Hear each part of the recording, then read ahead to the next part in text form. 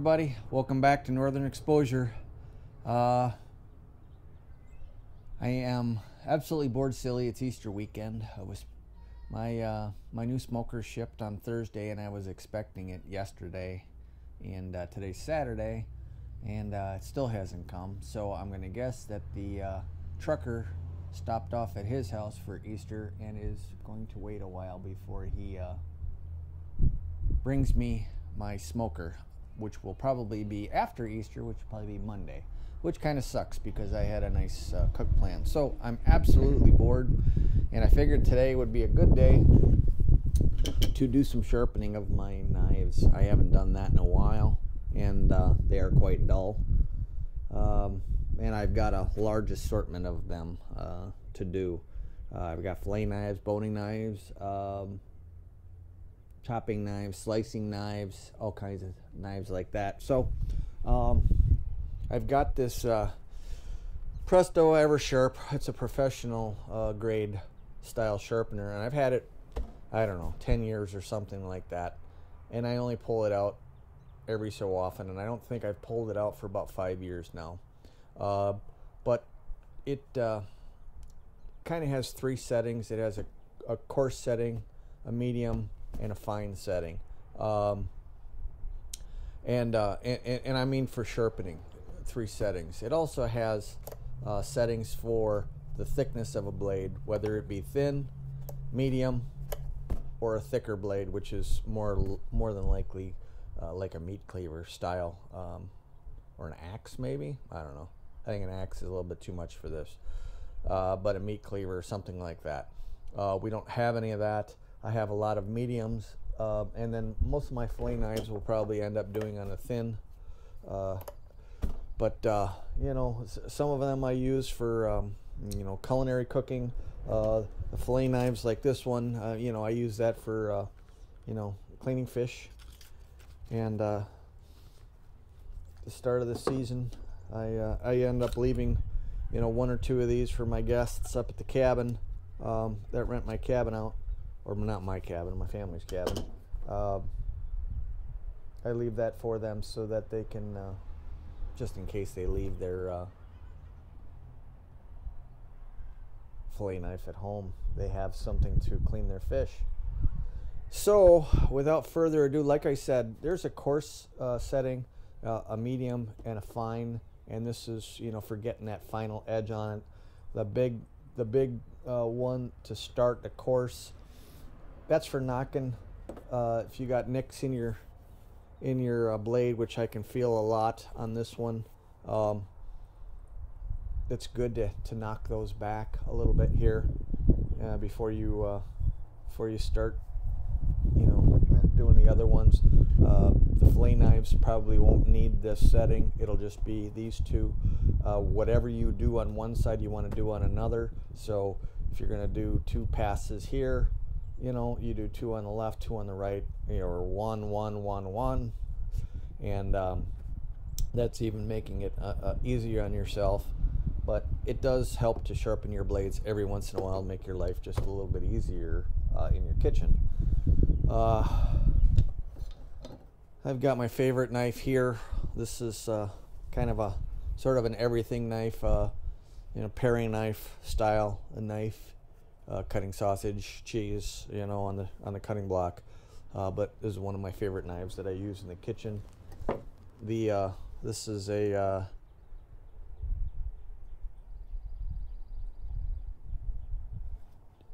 Japanese style knife. I, am not sure the name exactly what they call these. Um, but this is a high carbon German steel, an Acero and uh, I like this knife for cutting vegetables.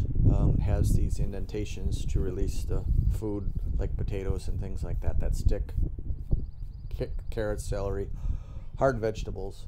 This is, uh, this is a, a go-to item. And then of course I have my meat slicing knife. Um, probably don't need to put a big fine, you know, I don't have to put it on the big cutting edge. I can just put it on the fine ones. Uh, but this is like for cutting, um, you know, meats, uh, brisket, uh, things like that. You're carving your turkey or um, roasts or things like that. So you use a knife like that for that. And then uh, I got a couple of, uh, you know, just regular chopping knives.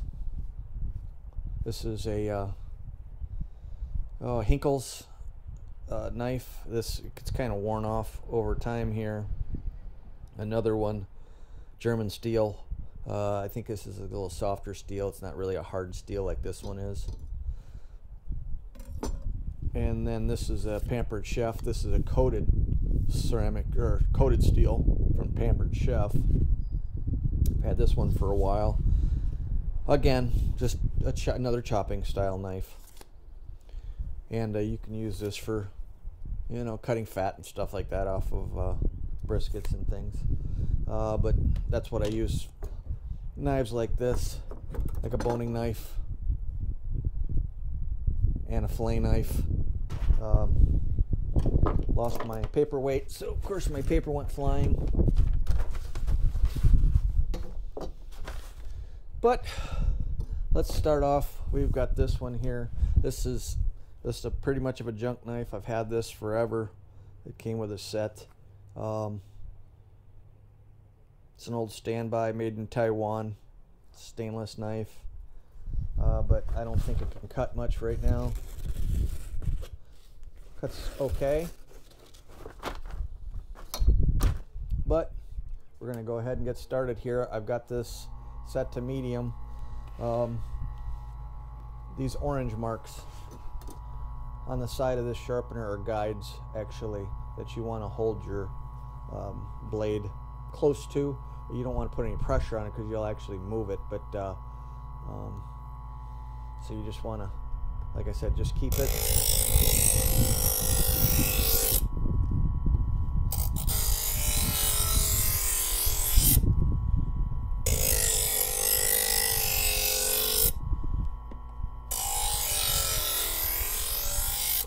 Yeah, I try not to put too much pressure on it, just let the knives wait.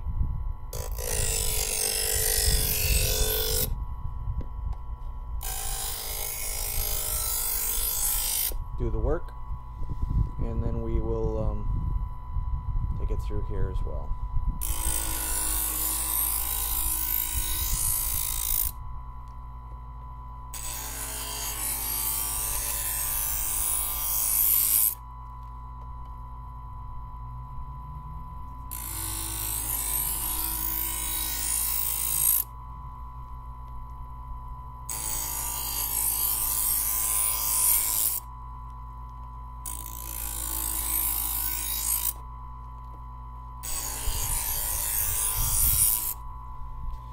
And then the final one.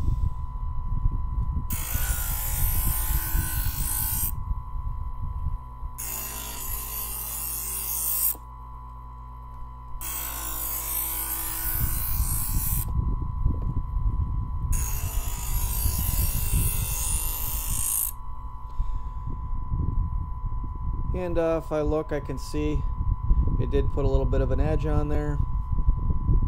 Pretty good take a look. We'll see what it does. I'm just gonna cuts it rather nicely.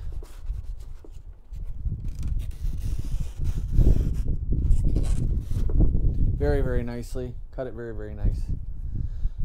Okay, so like I said, I uh,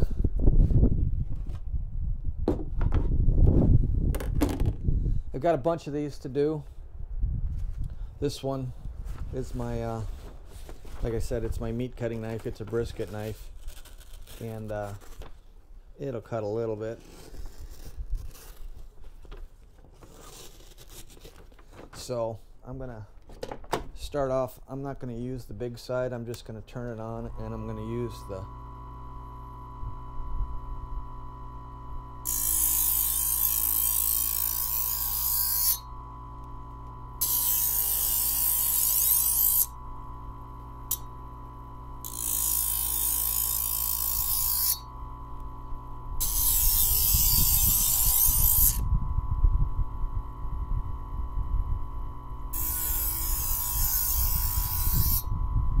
again, I don't use hardly any pressure. I let the knife the knife's the blade weight. Um, do all the work. Okay, let's see what we got here.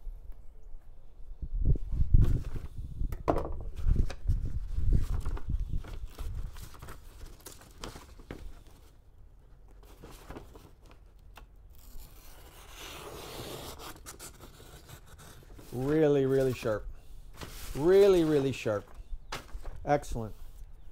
It's exactly what we want to what we want to see. Okay. Now what do I've got here? So I've got this Hellmann's knife. This is another knife here. It's a different one. Like I said, this is a, a coated knife. And it doesn't cut at all. A little bit not bad. I'm going to actually put an edge on this one.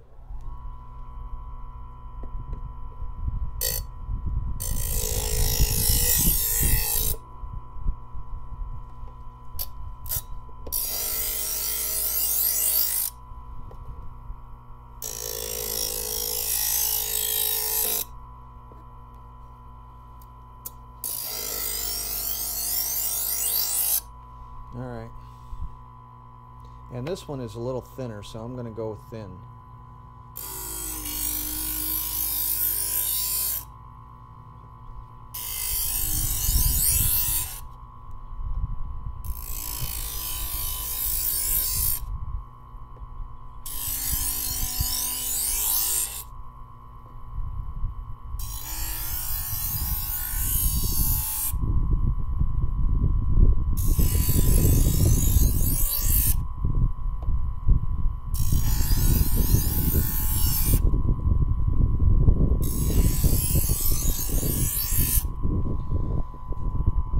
Let's see what we got.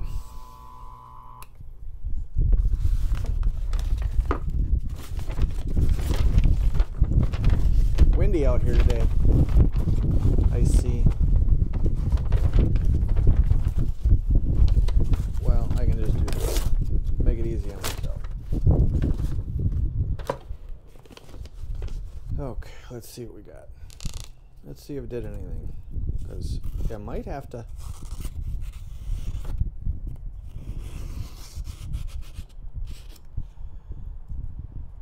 So the start of it wasn't the best, but it finished well.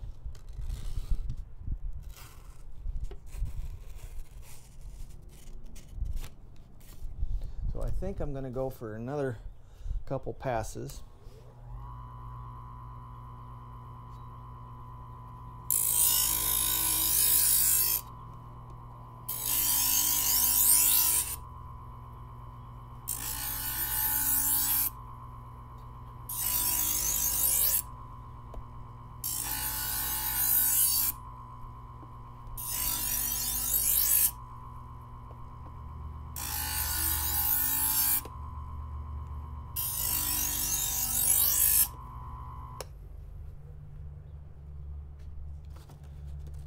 Okay, let's see what we got.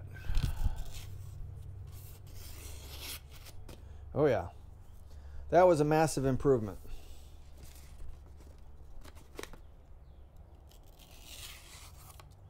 Absolutely major difference.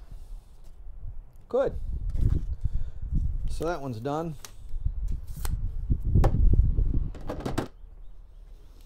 Okay. Well, that worked out really well.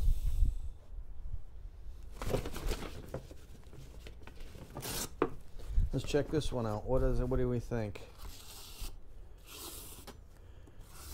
A little bit.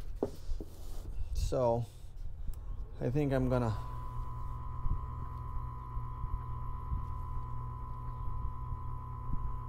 I see a couple dings on this one, so I'm just gonna go once.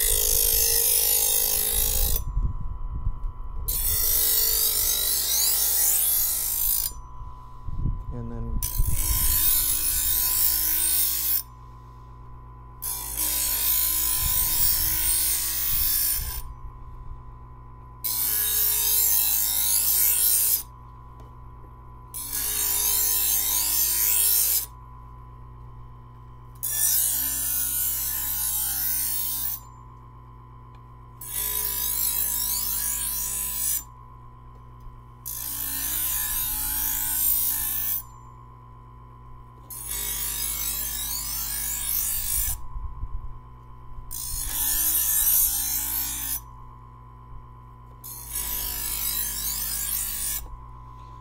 Okay.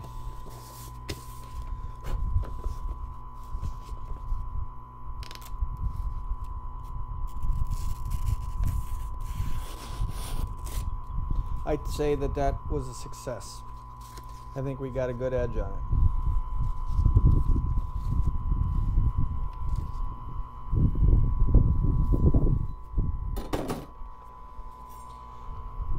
Okay, what about this one?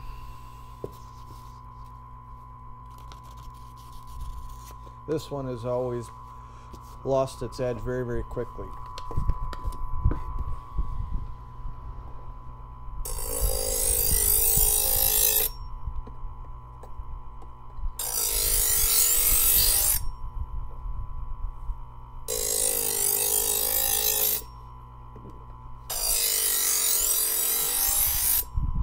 This one actually, what it does is it kind of gets rid of the, gives you some new steel to work with actually.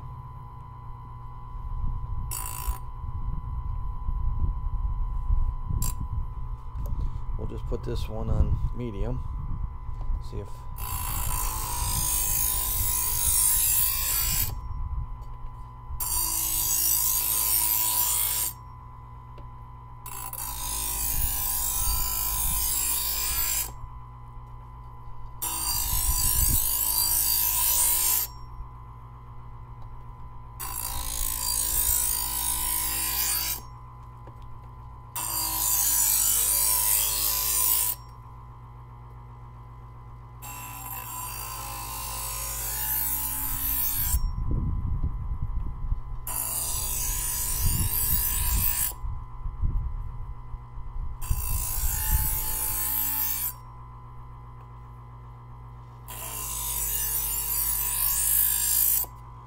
Okay. Well, let's see what we got.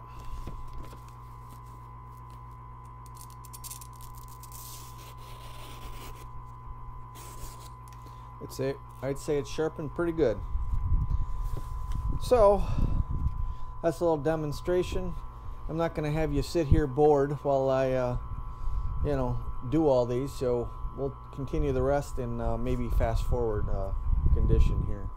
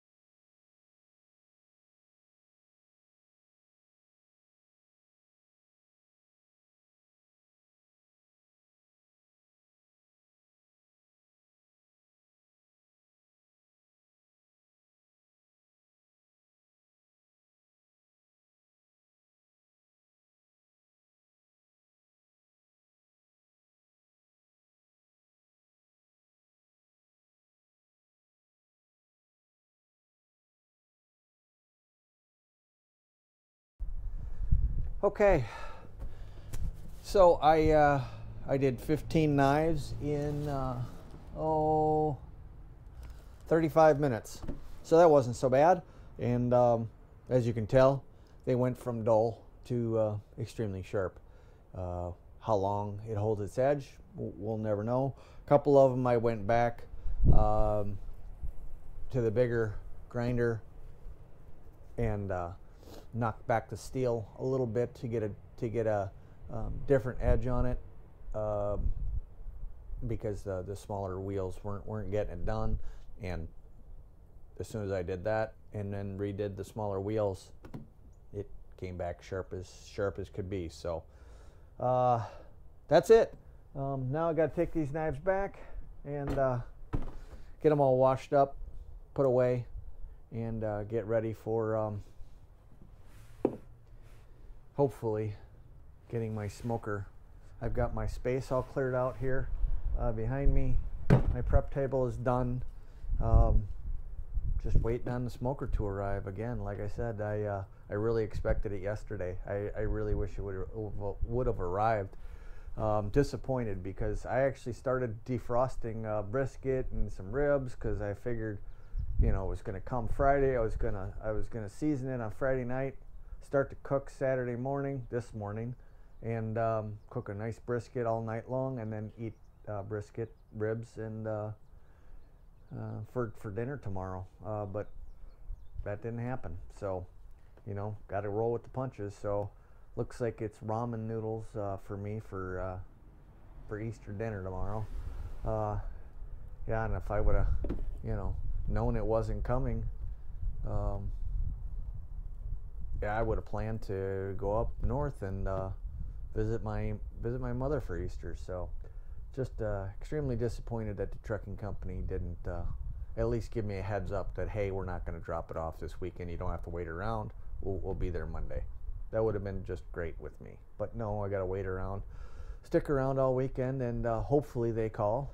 But my guess is they won't till Monday when I'm at work, and then I'll have to take off work to come over here when he when the guy decides to drop it off, which is just a little selfish in my opinion. So, anyways, that's it. Got any questions or comments? Leave them below. Uh, again, this is the uh, Presto Eversharp Professional. Um, it served me well over the last 10 years or so. Uh, it's fairly inexpensive. I bought it off Amazon. Does a really great job, and um, yeah, I got no complaints.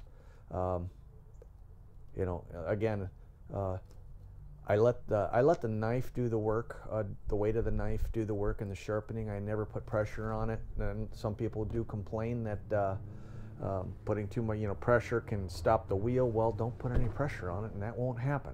As you can tell, I didn't have any problem. My wheel didn't stop. It ground them down.